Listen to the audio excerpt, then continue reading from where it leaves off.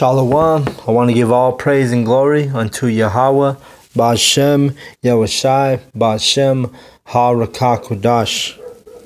I want to give double honors to the elders, apostles of Great Millstone, and also want to acknowledge the Akyam who are pushing the truth with sincerity. All right, so I've actually been wanting to do this lesson since last week. Um, it's going back to last week when uh, you had the uh, former college superstar and he made it to the NFL with the second overall pick. Um, I think it was in 2001 or 2002, something like that. But anyway, his name's Charles Rogers. As you can see on the title, it says Charles Rogers, former Michigan State football Detroit Lions star, dead at 38. so I'm gonna go ahead and play this little quick video, and then I'm gonna get into the scriptures. But actually, let's see if we can see anything. He died last Monday. He was only 38. Um, just kind of summarize it. Uh, he died of cancer. You know. Um, you know, very young man. He was the number two overall pick in 2003 NFL draft. All right. Um, you can see he was a big receiver. He was six foot three, 220 pounds, and he could run. You know, back in back in his playing days. So know, there's a picture of him back in uh, 2006. Uh, there's a quick uh, line right there. It says Charles Rogers says pain pills and injuries ruined his career, not marijuana. Because the brother was uh, using marijuana and pain pills. And, uh, you know, I've done lessons on the pain pills and the sorcery of, of Esau, which is witchcraft. Because if you go into uh, the word uh, pharmacy in Greek, it actually means um, witchcraft, which is pharmakia in the Greek. So, you know, he's telling you right here the witchcraft is what ruined his career because he got addicted to these pain pills. All right. So enough enough about Mr. Rogers, but I just wanted to get into the scriptures. You know. Actually, let me play this short video.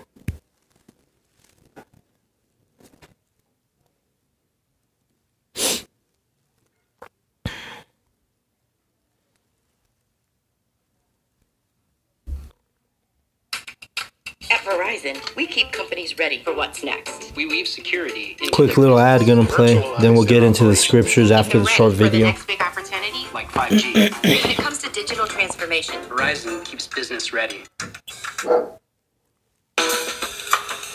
Just to Looking at this, he was Michigan State's all-time leader in TD catches. He began to shine at Saginaw High School in Michigan in football, basketball, and track. He was the first team All Big Ten in 2001 and 2002. He had a touchdown catch in 13 straight games. He was a unanimous All American in 2002. He was the 2002 Biletnikoff Award winner, which is uh, best wide receiver in the nation. The Lions drafted him in 2003 with the second overall pick. He caught two touchdowns in his first game ever with the Lions. He only played 15 games in three seasons because he had injuries and uh, you know other things that prevented him from you know living up to his uh, hype coming out of college. But really quick, just again, once again, it says Charles Rogers, former Michigan State football Detroit Lions star, and he died. A He he died at age 38. Okay, so let me go back to the scriptures, and we're gonna start at Job one and 21, and it says, "And said." This is right after uh, the prophet Job, his children were killed, you know, in a, in a in a great wind from the wilderness. It says in verse 19. I'm gonna jump to 21. It says, and said, Naked came I out of my mother's womb, and naked shall I return thither. The Lord gave, and the Lord hath taken away. Blessed be the name of the Lord. In all this, Job sinned not, nor charged Yahweh foolishly. All right, so as you can see, you know, the, the football player, uh, Charles Rogers, you know, he had all kinds of accolades and all kinds of accomplishments throughout his uh, athletic career, you know, and um, just like in verse 21, it says, Yahweh gave and Yahweh ta- hath taken away. Because, you know, the young man died, you know, he was only 38 years old. So that's a very uh, young man, you know, to, to be dead of cancer. You know, and like it said in the article, he was taking sorcery or witchcraft, which are those pharmaceutical pills, which literally the, the Greek word pharmakia means witchcraft. All right. So I'm going to go to, you know, because a lot of people, they don't understand that, hey, it's Yahweh that, that gives you these, uh, you know, these people call them blessings. You know, but the men of the Lord, we know that a true blessing is when we're taken up on those so called UFOs for our salvation, right? But the world calls those accolades and all those accomplishments blessings, you know.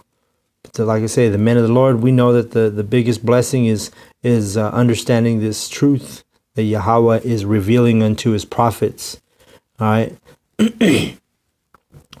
So let's just go to Isaiah really quick. Go to Isaiah 45 and 7. It says, I form the light and create darkness. I make peace and create evil. I, the Lord, do all these things. Okay? So a lot of people have a misconception. They say, oh, you know, you know, whenever bad things happen, they think it's something Satan did, you know. Um, but right there, it tells you, you know, Yahweh is the one who makes peace and he creates the evil also. All right. He, he forms the light and he creates darkness. So I'm going to go to Job and we're going to go to 2 and verse 10.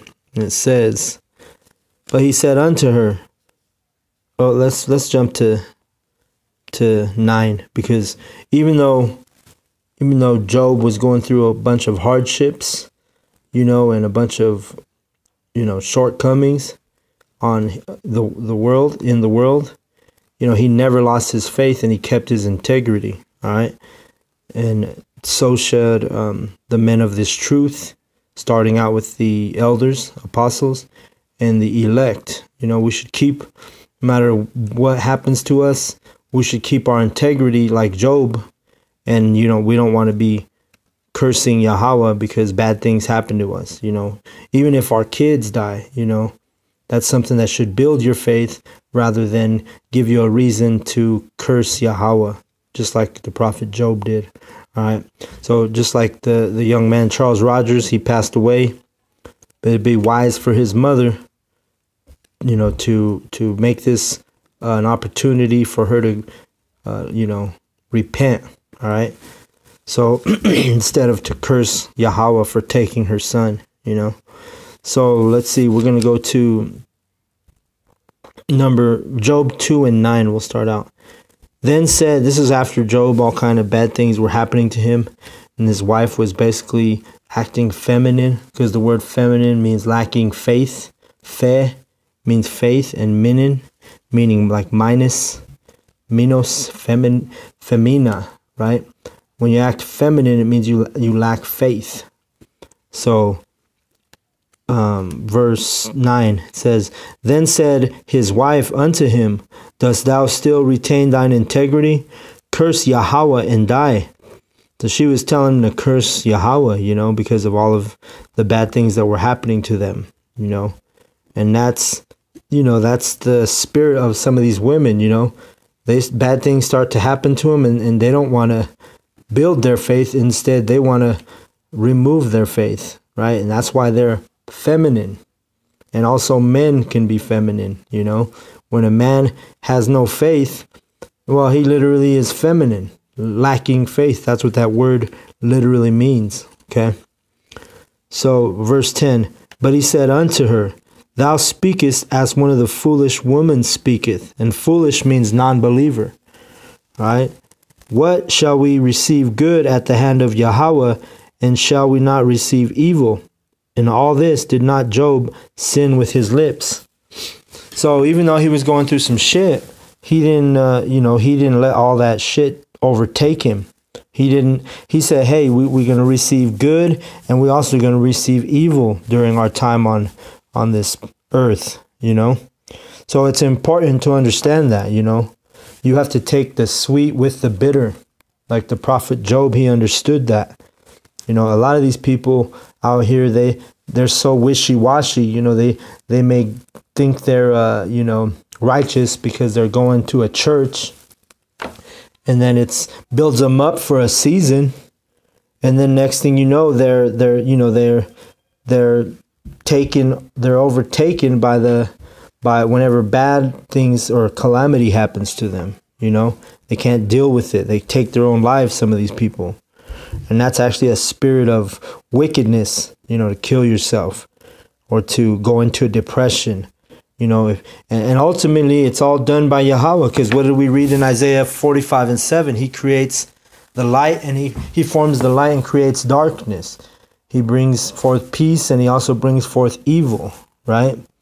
And the word evil means bad times. So it's all through the Yahweh. If you're in a depressed state, Yahweh put that depressed state on you, right? If you're feeling wicked and you're out there committing evil, well, guess who put that on you? Yahweh put that spirit on you to, to be that person. Right. It's all the will of Yahweh, everything. Right. But Job